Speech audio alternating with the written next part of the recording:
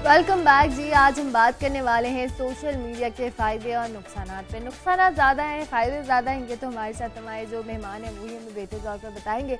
हमारे पास मौजूद होंगी डॉक्टर जवेरिया सरवर्दी जो कि सोशल एक्टिविस्ट थी और हमें प्रॉपर गाइड भी करती रहती हैं। और उसके अलावा डॉक्टर राफिया रफ़ीक जो कि साइकोलॉजिस्ट हैं और वो भी आज आपको एस्पेक्ट्स बताएँगी कि साइकोलॉजिकली कितना डैमेज करते हैं और क्या क्या नुकसान और क्या क्या फ़ायदे हो सकते हैं। दोनों को वेलकम करेंगे। Thank you so much for coming सबसे पहले तो डॉक्टर राफिया आपकी जारी आएँगे सोशल मीडिया की जब हम बात करते हैं।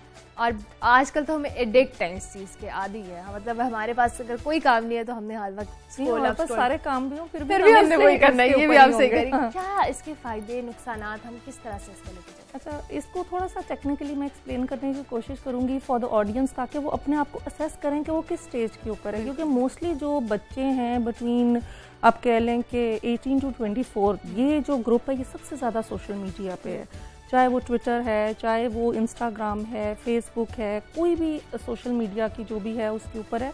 और अब तो ये व्हाट्सएप पे इतने ग्रुप्स और इतनी चीज़ें बन गई हैं उसके। ऊपर भी बहुत ज़्यादा लोग टाइम स्पेंड कर रहे हैं।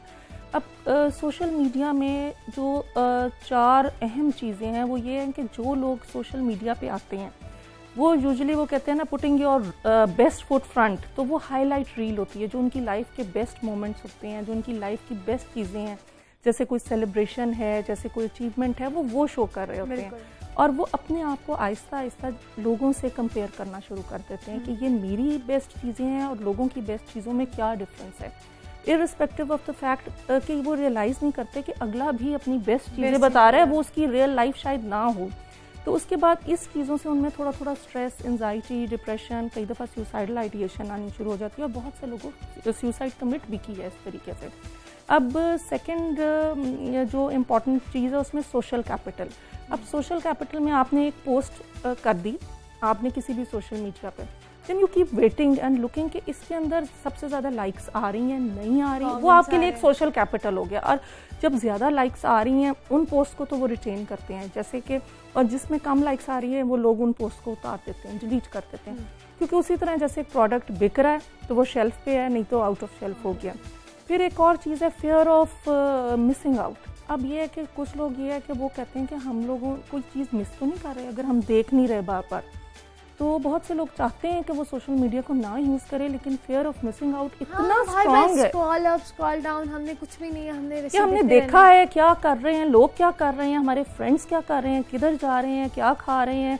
किधर बैठ रहे हैं मतलब वो सारी चीज़ें they don't want to miss out और इसी वजह से वो जो है, वो स्टकअप होते हैं हर वक्त सोशल मीडिया पे. और लास्ट चीज़ है कि मीडिया में हरासमेंट अब हरासमेंट ये नहीं है कि आपने किसी को वैसे वर्बली अब्यूज़ किया या कुछ. कई दफ़ा आप देखते हैं कि अब मेरे फेसबुक पे कुछ ऐसे फ्रेंड्स हैं या कुछ ऐसे लोग हैं जो सुबह सुबह नीचे से मोबाइल रख के सेल्फी इतना बड़ा मुँह आ रहा होता है hello friends how are you but मेरे लिए वो एक हरासमेंट सी चीज़ है कि इतनी इमेज अच्छा नहीं लग रहा और आप बार बार एक ही इवेंट की फिफ्टी पिक्चर्स आप अपलोड कर रहे हो बार बार एक ही चीज़ को कर रहे हो मतलब this is also type of social harassment जिससे आपको नेगेटिव मतलब आपके वाइब्स आ रही होती हैं और आपको स्ट्रेस इससे क्रिएट हो रहा होता है। तो ये फोर चीज़ें आप अब इन चीज़ों में लोग देखें कि वो where do they stand are they doing this आधे तो लगता है मैं चारों चीज़ों में स्टैंड करेंगे मुझे आप अपनी बात कर रहे हो I am also into this देखिए हम लोग वो जनरेशन नहीं है। दोज हु बॉर्न जब ये सब कुछ हो रहा था लेकिन we are still involve in it अब मेरी लाइफ जो है my social life my educational my anything my professional life everything is stuck up with media तो अब हम ये नहीं कह सकते कि आप मीडिया से दूर रहें हम नहीं हाँ, रहेंगे और हाँ, रह नहीं सकते आपका बिल्कुल छोटा बच्चा भी आपका जो है। तो यहाँ पर कोई आप हम ऑफ़िस की बात करें हम आधी से ज़्यादा कन्वर्सेशन हमारी व्हाट्सएप पे हो रही होती है। हम अगर कोई अवेलेबल नहीं है तो वो व्हाट्सएप ग्रुप में मैसेज कर देगा। आपकी सोशल आइसोलेशन आनी शुरू होगी। आप देखें कि बहुत छोटा बच्चा उसके हाथ में अगर टैब है या वो टेलीविज़न देख रहा है आप उसको कितनी दफ़ा भी आवाज़ देंगे he is not going to respond back क्योंकि वो इतना इनग्रेन्ड है हमारे सोशलाइजेशन फैब्रिक जो है डिस्ट्रॉय हो रहा है इसकी वजह से। ठीक हो गया। डॉक्टर जुवेरिया आपके जाने पे आए आप चूँकि सोशल वर्क भी करती रहती हैं और हम जब सोशल मीडिया की बात करते हैं आप भी अपनी फ़ील्ड में देखते हैं कि बहुत ज़्यादा इन्वॉल्व होते हैं हम सब सोशल मीडिया के बहुत सारे केसेस दिए हैं हरासमेंट इश्यूज़ आते हैं साइकोलॉजिकल इश्यूज़ आते हैं मुख्तलिफ़ चीज़ें हाईलाइट हो रही हैं। नुकसान ज़्यादा हैं मेरे ख्याल से फ़ायदे कम है। जी ऐसे ही है। अभी इस वक्त जैसे बहुत सारी सुबह के वक्त खातन बैठी देख रही हैं। हमारे घर में सबसे पहले हमारे बच्चे हैं। ये सोशल मीडिया के लिए जब हम उसको अप्रोच करते हैं हमारे हाथ में एक टूल है मोबाइल है हमारा सेल फ़ोन है। अब वो सेल फ़ोन के नुकसान बहुत ज़्यादा हैं। स्पेशली जब बच्चे को जब वो बच्चा भी बोलना भी नहीं सीखता और माँ बाप अगर आप इसमें टीवी देख रहे हैं या गुफ्तु कर रहे हैं तो बच्चे के हाथ में मोबाइल पकड़ा देते हैं। और या फिर जो भी अब वो बात नहीं करना जानता है लेकिन मोबाइल यूज़ करना जानता है।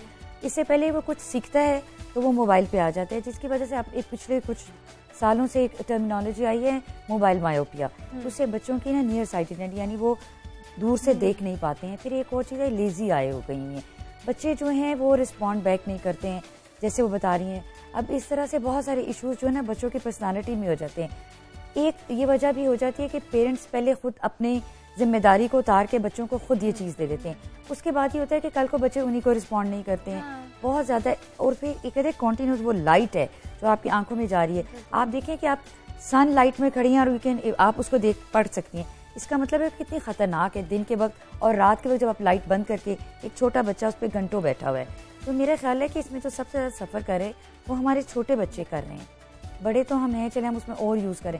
लेकिन बच्चा कॉन्टीन्यूसली उस पर गेम खेल रहा है। फिर बच्चा उस पर किसी पे उस पर स्विच ओवर कर सकता है फेसबुक पे जा सकता है।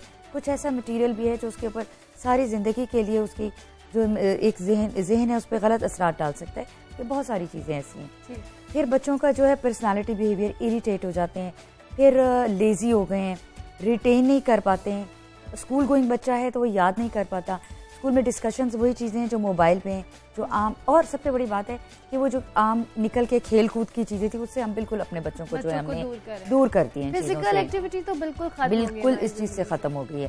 फ़िज़िकल एक्टिविटी नहीं मेंटल एक्टिविटी भी नहीं है क्योंकि आप सिर्फ़ एक चीज़ के स्टिक होकर रह गए आप अपना वो जो जहन है वो वर्किंग में नहीं ला रहे। एग्जैक्टली और डॉक्टर जवैया आपने देखा होगा कि एपिलेप्सी अब एब्सेंस अटैक्स इसकी वजह से इतने ट्रिगर होते हैं बच्चों में एपिलेप्सी और ये फ्लिकरिंग डिसऑर्डर्स फ्लिकरिंग स्क्रीन्स जो हैं ये एपिलेप्सी के और हाइपर एक्टिविटी एक दिन के एक घंटा फ़ोन के बगैर नहीं गुजार नहीं आपके जो एवरेज यूज़ कर रहे हैं आजकल जो भी लोग हैं वो दो घंटे प्लस यूज़ कर रहे हैं। आप देखें जो आप दो घंटे तो खाना भी नहीं खाते।